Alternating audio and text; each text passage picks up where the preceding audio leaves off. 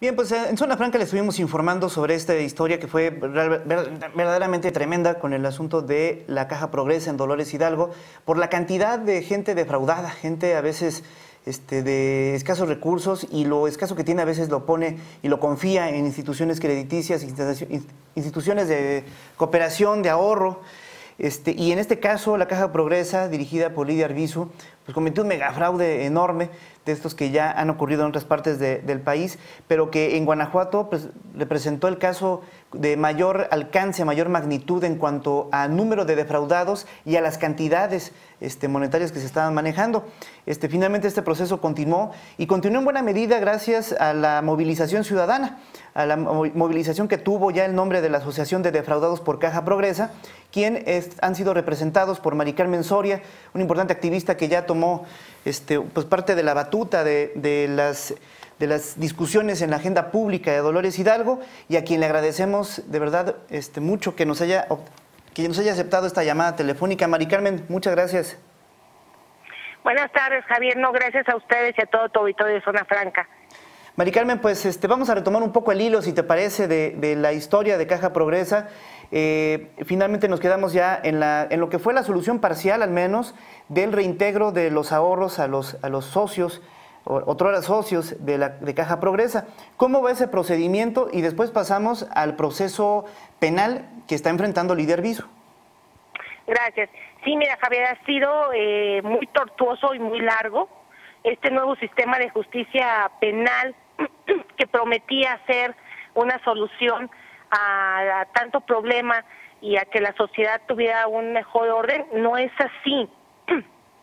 Para Caja Progresa va a ser un parteaguas eh, y vamos a aprobar este nuevo proceso penal porque eh, son 1045, es el primer juicio, al menos en el estado de Guanajuato, penal, con 1045 denunciantes. Eso lo hace eh, complicado porque no sabemos, falta la etapa intermedia. ¿Cómo estamos ahorita en la etapa penal?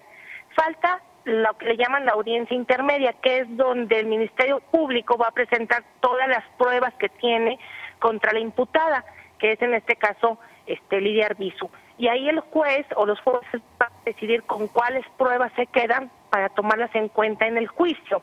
Este, esta etapa intermedia se ha pospuesto pues porque también por parte de la imputada hay eh, recursos legales que ella puede interponer. Ya lleva tres amparos, más la revisión del amparo, más la renuncia de sus abogados particulares. Perdón, con este frío no media agripada. Sí, sin, sin problema. Y la renuncia de sus abogados particulares ha atrasado todo este proceso. Entonces estamos en espera de la revisión del último amparo que interpuso. Nosotros creemos que ella está eh, obviamente aprovechándose de todos estos recursos legales para alargar el proceso. Y al alargar el proceso lo que quiere es que la gente nos cansemos, nos eh, desanimemos y que creamos que no hay justicia, que no hay acceso a la justicia pronta y expedita o que no se le va a hacer justicia. Y tampoco es que nos den elementos para creer lo contrario. Y, estamos pensando que ya vienen las elecciones, pudiera, eh, se pudiera incluso estar pensando en una estrategia de alargar el proceso para que no sé si en algún tipo de cambio de gobierno ella pudiera salir beneficiada como en otras ocasiones. Correcto. Bueno, es que realmente ya cuando estás contra la pared, pues lo que te queda es hacer tiempo, ¿no? Tratar de estirar la liga lo más que se pueda. Por eso este nuevo, este caso de Caja Progresa es de verdad muy importante. Yo agradezco a Zona Franca que no lo deje, que no pierda el hilo, porque luego damos las noticias pero no damos el seguimiento. Entonces yo sí agradezco a Zona Franca eh, que me permite informarle a la gente que estamos detenidos en el proceso eh, del juicio real por amparos y por la renuncia de sus abogados particulares. Ahora, esperemos que esto sea pronto. ¿Qué hay de bueno? ¿Qué hay de bueno? Bueno, que también eh, dentro de varios juicios que se detuvieron, que son 240 juicios por vía civil y mercantil, se lograron detectar algunas propiedades que las hemos inmovilizado. ¿Qué quiere decir? Que no se pueden mover esas propiedades hasta que no determinemos si son parte de juicios eh, que se están figurando o que se estaban haciendo en contubernio con alguien para que esas propiedades quedan a nombre de otras personas que no fuera Caja Progresa. Aquí hasta hoy tenemos detectadas pocas este, propiedades, pero de gran valor. Tenemos sentencias también para embargar a gente. Y entonces estamos con la esperanza de que eso pueda en su momento, cuando termine el juicio, que sea parte de lo que se nos dé como daño patrimonial, porque estamos hablando de 1.045 gentes que suman cerca de 150 millones de pesos. Aunado a que el gobierno federal a través de Hacienda, a través de Hacienda, eh, el, el, inmueble de la Caja Progresa, que vale comercialmente 8 millones de pesos, Hacienda lo embargó por la falta de pago de impuestos de 7 millones y lo acaba de vender a una asociación civil de Dolores Hidalgo que desconocemos en 2 millones de pesos con el argumento de que esa, ese inmueble estaba invadido y es mentira. Todos los que viven en Dolores Hidalgo saben que ese inmueble nunca se ha invadido. Entonces, esa fue una artimaña más del gobierno federal de Hacienda para victimizarnos y para irse en contra de nosotros los socios una vez más. Por eso es que también creo que ahorita en los procesos electorales pudiese haber o cabe la sospecha hasta que no nos demuestren lo contrario de que esté esperando algún favoritismo político. Correcto. Digo, esta parte es importante. ¿Cuándo se hizo esta venta, Mari Carmen, del inmueble? Se hizo a principios de año, lo, lo acabo de declarar hace unas tres semanas, lo di a conocer a la gente que ese inmueble ya no era parte del patrimonio de Caja Progresa, que era lo único que había nombre de Caja Progresa.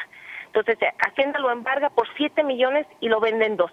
Cuando había una solicitud por parte de nosotros, del comité liquidador, del movimiento de socios, que Hacienda nos lo dieran como dato. Correcto.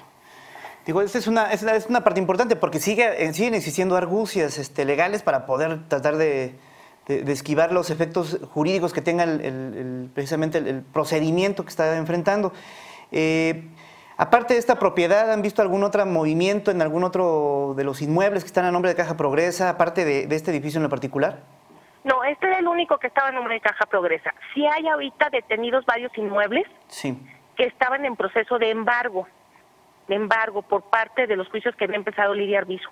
Se logra parar estos inmuebles para que queden en la carpeta de investigación penal y se deslinden responsabilidades y de ser viable recuperar esos inmuebles y acreditárnoslos como caja progresa para que sea parte del patrimonio con el que nos vamos a reparar el daño a los socios. Mira, estamos pidiendo a través de la Secretaría de Gobierno del Estado de Guanajuato que por favor le pidan al señor procurador que nos dé una cita porque al señor procurador siempre hay que pedírselo así como que por favor a ver si puede atender. Estamos pidiendo la intervención de la Secretaría de Gobierno para ver una cita con el procurador y de poder definir exactamente cuáles son las etapas que nos faltan penalmente y cuál es el procedimiento para que estas propiedades puedan también pasar a nombre de los defraudados de Caja Progresa. Ese es por un lado. Por el otro, hice un llamado también a no votar por Gerardo Sánchez y te voy a explicar por qué lo hice, Javier. No, no es así como que me la aventé nada más porque se me ocurrió. Recordarán, Tobito y tú, que hace mucho yo dije que no nos querían recibir las denuncias penales y había habido la intervención de una diputada en aquel entonces, en el 2000, este, del 2012 al 2015, una diputada este, Petra Barrera Barrera de Victoria, Guanajuato. Victoria, Guanajuato es el, el, lugar de origen donde nació Lidia Arbizu y ella a mí, a mí en lo personal, de manera directa, me dijo que le había dado dinero para su campaña y que de ahí le iban a proteger y ahí se mencionó a Gerardo Sánchez. Entonces es por eso que ahora me preocupa porque nuevamente eh, va como candidata a diputada Petra Barrera Barrera y casualmente el senador Gerardo Sánchez, que ahora dice estar muy preocupado por todo lo que sucede en Guanajuato y que está queriendo ser gobernador para ver por todos los guanajuatenses y por todos sus problemas, pues le recuerdo que hay más cajas en todo el estado, pero que son pequeñas y no han podido hacer la unión que tuvimos en Dolores Hidalgo. Pero al menos en el estado de Guanajuato hubo el fraude en seis cajas. Una que recuerdo mucho fue Nueva Alianza de Irapuato, y obviamente Caja Progresa. Entonces, cuando pudo hacerlo, cuando le mandé correos, emails, llamé con sus particulares para que como senador nos apoyara, nunca lo hizo. Y los únicos senadores que nos apoyaron fueron los del Partido del Trabajo y Alejandro Encina, de Oaxaca y de la Ciudad de México. Sí, tuviste que irte a México para buscar el apoyo. Claro, teniendo aquí senadores. Entonces, por eso que quiero hacer evidente que cuando tuvieron en sus manos poner un granito de arena para ayudarnos, no lo hicieron. Correcto. Digo, esa es una parte importante porque ya en este momento el asunto pues está ya en las instancias judiciales. Por cierto, ¿cómo está el asunto de los ahorros, Maricarmen? Esa parte también es importante. Este, ¿Hasta dónde se ha podido restituir parte de los ahorros a los, a los socios de Caja Progresa?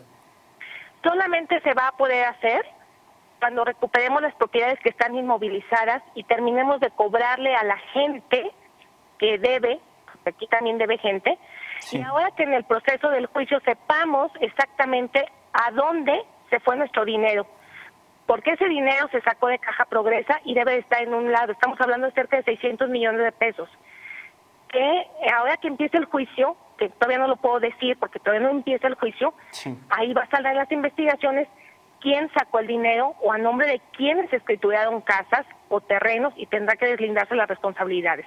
Entonces, parte de cómo podemos restituirle a los a los ahorradores es recuperando las casas que están inmovilizadas, cobrándole a los deudores y viendo en el proceso penal con la investigación del Ministerio Público quiénes quiénes fueron cómplices de, de este fraude y quiénes se llevaron el dinero.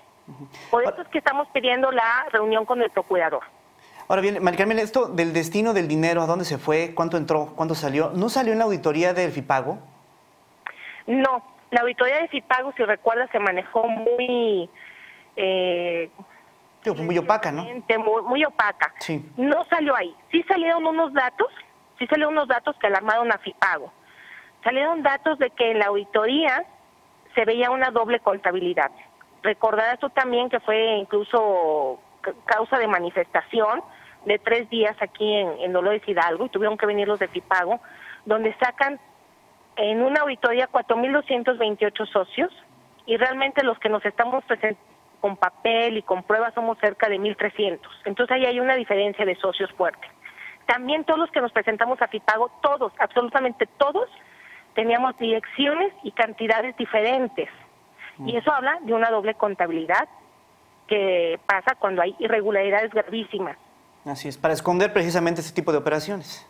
Así es, así es. Entonces, estamos nosotros volviendo a retomar el caso para pedirle de primera instancia, de, de manera directa al procurador, que nos expliquen con este nuevo proceso penal exactamente en qué paso estamos, en qué estatus estamos, porque no podemos estar indefinidamente con el juicio este suspendido, ¿no? Así es, digo, y al final de cuentas es a quien le corresponde inmovilizar propiedades, revisar cada una de ellas, investigar el hilo precisamente del dinero, ¿no? Digo, está, perfectísimo que, que los eh, socios de Caja Progresa o socios todavía de Caja Progresa, pues estén como tú, pues evidentemente peleando por lo que es suyo este, dentro de este proceso, pero creo que caminaría mucho más rápido si fuera un poco más diligente la Procuraduría, ¿no?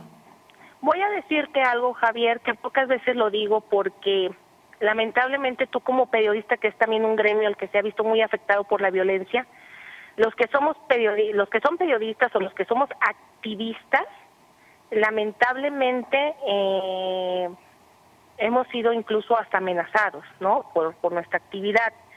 Pero cuando hay fraudes de esta magnitud y que la economía o deja de circular tanta cantidad de dinero en, un, en una región, en un municipio, primero, se oprime la, la economía, deja de haber el flujo de dinero para comprar, para vender, para satisfacer necesidades personales y básicas.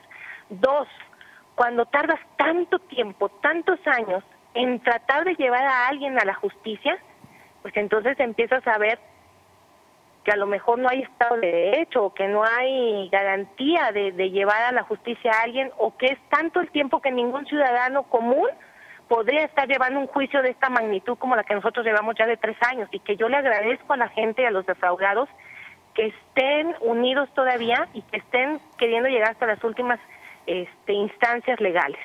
Digo, porque se va a hacer un esfuerzo, mantener, mantener la llama viva mientras no se esclarezca qué fue lo que ocurrió con ese dinero, ¿no? Claro, porque si no llegamos al juicio, no a una sentencia, el otro mensaje que estaríamos dando es de impunidad. Y así como están las cosas en el Estado, en el país, pues es un mensaje pésimo por parte de, de las autoridades, de las leyes y de todo el mundo de decir, tardaste tres o cuatro años en llevar a la justicia a esta persona, y luego si hubiera una sentencia eh, que no fuera favorable a nosotros por la imagen y la percepción de, de, impunidad, que de por sí ya es muy grave. Entonces, estamos hablando de que cualquiera puede hacer lo que quiera en el Estado, algo que llevarte a la justicia tarda mucho tiempo, cuesta mucho, te tienes que desgastar, te tienes que, este, mm, a veces hasta desistir, y si llegas al final y no hay una ascendencia este, favorable hacia la gente que fue mm, violentada, con todo y pruebas, pues el, mensaje es de impunidad. Así es. Bien, finalmente, Mari Carmen, pues este, lo que sí estamos observando, y creo que este, eh, este pronunciamiento este, referido a Gerardo Sánchez, pues también ubica en qué momento se encuentra la Asociación de Defraudados por Caja Progresa, porque se volvieron finalmente una entidad este, visible en la agenda pública de Dolores Hidalgo e inclusive en algunos otros puntos del Estado, este, para precisamente eh, ser un ejemplo de organización ciudadana. Este, de enfrentar finalmente la agenda pública que está, o que estaba más bien monopolizada por los políticos, por los partidos en, el poder, y de alguna manera ya esto ayuda muchísimo a que este tipo de cosas se debatan en lo público. Eh, ¿Cuál sería, digamos, las premisas que tendría la Asociación de Defraudados por Caja Progresa de cara al proceso electoral, María Carmen? Este, vivimos en una sociedad que todavía, aunque vamos avanzando, todavía le cuesta trabajo involucrarse de lleno en, este contexto político que vivimos en México. Claro, te cuesta trabajo porque cuando nos ven y dicen todavía no logran nada, o sea, el hecho de que los políticos nos volteen a ver tienen que pasar tanto y luego aparte sabes que es algo muy lamentable que cuando hay algún activista o cuando hay algún movimiento social que dice y pone el dedo en la llaga en algún punto, lo primero que dicen, ah, es que es, esa persona es muy revoltosa. O quiere algo. Ah, o sea, tratan de, de, de desestimar, de, de minimizar las cosas cuando deberían de asumir una posición, de decir, a ver qué está pasando ahí, vamos a investigar, vamos a ver si efectivamente este movimiento tiene bases, es algo real, pero no, no, los políticos les, les incomoda que les hagas crítica, les incomoda que les exijas, les incomoda que les digas, oye, tú debiste haber tomado cartas en el asunto y no lo hiciste, y no lo hiciste, ¿no? Entonces, me parece que en este momento eh, Caja Progresa, el movimiento, lo que está haciendo, que además fue una decisión de asamblea que se tomó el 21 de enero, eh, fue el dejar muy marcado que nuestra lucha ha sido genuina, tiene una base, hemos dado pruebas, ha sido de muchísima gente, no somos ni dos ni tres, ha dañado mucho a la sociedad eh, en Dolores Hidalgo porque unos han perdido casas, se les han embargado o hay gente que ha perdido hasta la vida por esta situación de, Caja Progresa y que lo menos que lo menos que podemos decir es a la gente de los ciudadanos decirles tengan mucho cuidado por quién votan, no nomás por la identidad partidaria, tienes que ver el perfil y el proyecto y el actuar de esta gente. Así es. Que está pidiéndote ahora el voto, ¿no?